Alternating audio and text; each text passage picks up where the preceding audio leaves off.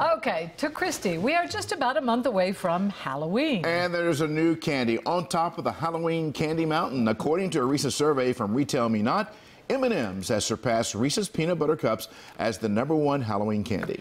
So, as you can see, it's a very close race between the top four most popular candies, with Kit Kat coming in third and Snickers coming in fourth. It's like going to the ballpark and seeing ketchup and mustard race. Oh, yeah. Only this time it's candy.